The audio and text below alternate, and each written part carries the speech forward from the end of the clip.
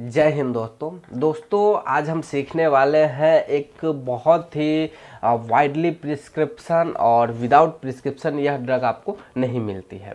तो आज हम इसी प्रिस्क्रिप्शन ड्रग से जिसे हम टेपेंटाडॉल के नाम से जानते हैं।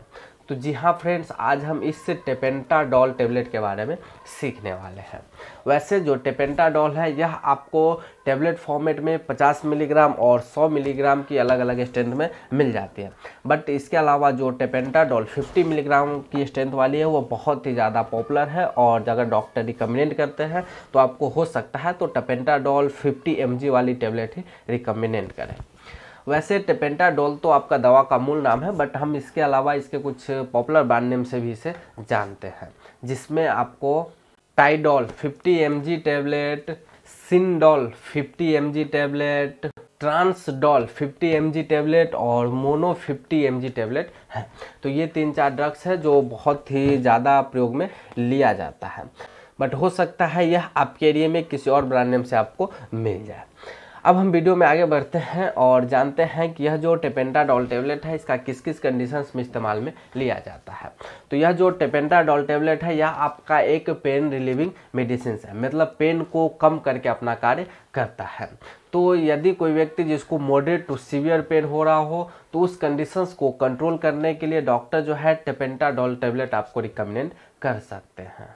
इसके अलावा इसका प्रयोग आपको एक्यूट पेन के ट्रीटमेंट में भी किया जाता है। मतलब जैसे यदि कोई व्यक्ति जिसको हेडक हो रहा हो फीवर हो रहा हो, दांतों का दर्द हो और बॉडी में पेन हो रहा हो तो इन कंडीशंस में भी इसका इस्तेमाल किया जाता है।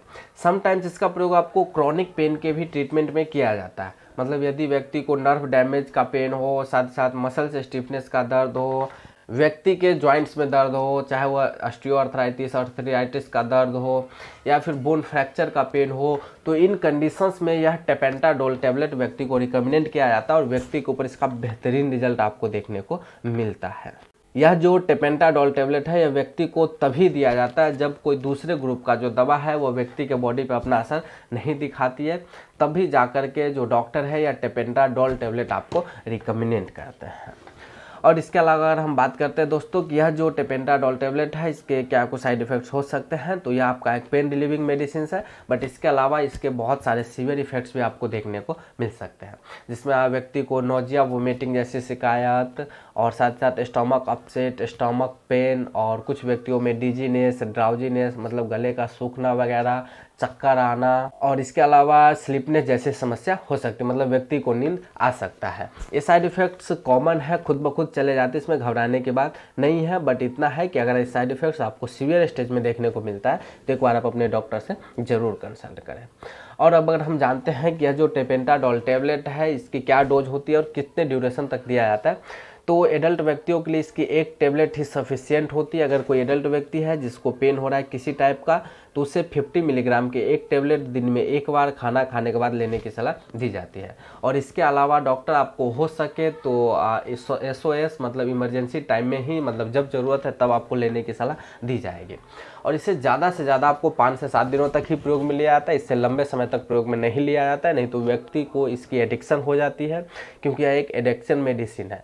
और अगर व्यक्ति को एडिक्शन हो जाती है तो फिर छोड़ना मुश्किल हो जाता है। इसीलिए यह जो टेपेंटाडोल टेबलेट है सिर्फ़ और सिर्फ़ प्रिस्क्रिप्शन पे ही आपको मिलती है।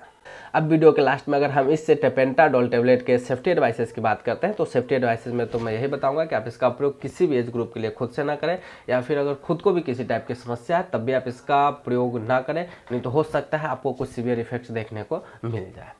तो आई होप दोस्तों मैंने आपको संपूर्ण जानकारी दिया हो इस टेपेंटाडोल टेबलेट के बारे में। तो मिलता हूँ अब आपसे अगले वीडियो में किसी अगले टॉपिक के साथ।